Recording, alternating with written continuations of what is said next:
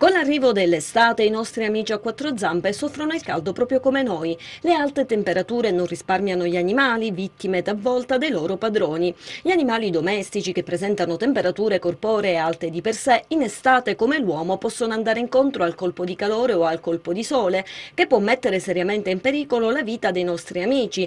Ecco perché dobbiamo essere particolarmente attenti a tutelare la loro salute. Ingannati da stereotipi e luoghi comuni, spesso infatti non sappiamo come aiutarli farli e commettiamo errori che potrebbero rivelarsi fatali.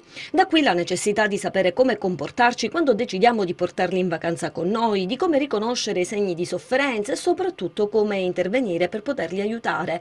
Ecco perché ci siamo rivolti a un veterinario. Come riconoscere il colpo di sole? Eh, l'animale comincia ad avere eh, una salivazione intensa, una, un respiro corto e molto affannoso, eh, salivazione con saliva eh, pastosa, secca, biancastra e una fame d'aria evidente.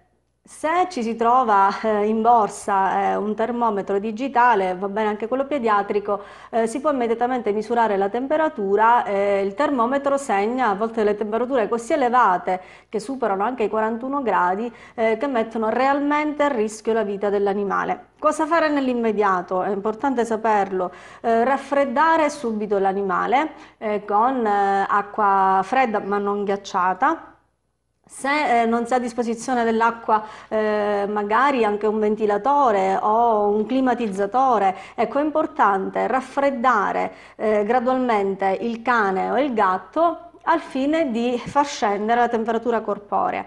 Eh, bagnare le estremità, eh, le dita, eh, cioè i polpastrelli, eh, le ascelle con dell'alcol che ha, ha, la funzione di allontanare il calore dal corpo, dare dell'acqua a disposizione, ma non forzare il cane se non, non vuole bere.